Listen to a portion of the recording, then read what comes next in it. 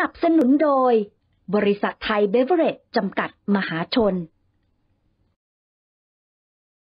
ครับมาต่อที่ทางท่าทีของพรรคก้าวไกลกันบ้างว่า จะโหวตหรือไม่โหวตนะครับ วันนี้ครับคุณวิโรจน์นะครับมีการเปิดกรอบโหวตนายกของพรรคก้าวไกลครับ บอกว่า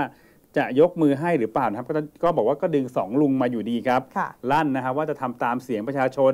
ไม่ยอมเปิดประตูให้เผด็จการร่วมรัฐบาลสืบทอด อำนาจอย่างแน่นอนครับ ค่ะ ถือว่าจับตามองนักในขณะนี้นะคะ ว่าคพรัรบรคก้าวไกลเนี่ยจะก็โดนมีทีท่าอย่างไรไปเป็นฝ่ายค้านและแล้วคุณอ่าจะเอายังไงในขณะครับที่เพื่อไทยก้าวฝุ่นตลบอยู่นะคะ รวบครับรวมเสียงอยู่ค่ะ เรื่องนี้นะคะ คุณวิโรธลัคนาอดิศรค่ะสสบัญชีรายชื่อพรรคก้าวไกลนะคะเขาโพสต์ข้อความผ่านทาง Facebook อีกแล้วค่ะ โดยคุณวิโรธเนี่ยระบุว่าเราจะโหวตตามเสียงของหัวใจประชาชนครับผู้ที่เป็นเจ้าของพรรค และจะไม่ยอมเปิดประตูให้เผด็จการ ได้เข้ามาร่วมรัฐบาล สืบทอดอำนาจอย่างแน่นอนค่ะ ซึ่งการโหวตของก้าวไกลจะต้องเป็นการโหวตที่ตรงกับเสียงหัวใจของประชาชน และ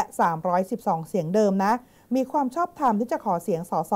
จากพรรคอื่นที่ไม่ได้ร่วมรัฐบาลมาโหวตให้ เพื่อให้การจัดตั้งรัฐบาลเป็นไปตามชันธานุมัติของประชาชน ป้องกันไม่ให้สวเข้ามาแทรกแซงเสียงของประชาชนค่ะ แต่สำหรับกรณีของ 212 เสียงหรือว่า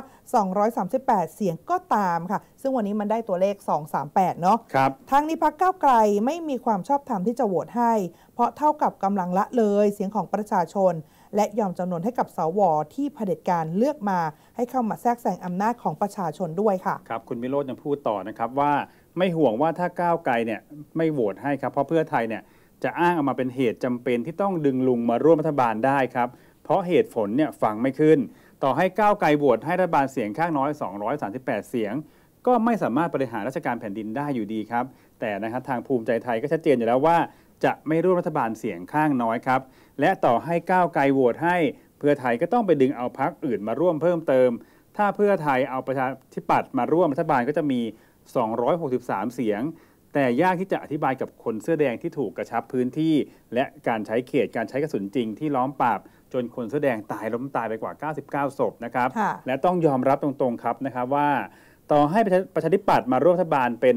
จำได้จำนวน 263 เสียงแล้วก็ตามนะครับอืมมันก็ยังปริ่มน้ำมากครับ รัฐบาลที่มีเสียงแค่นี้ก็บริหารราชการแผ่นดินไม่ได้หรอกครับ จึงเป็นไปได้สูงครับว่า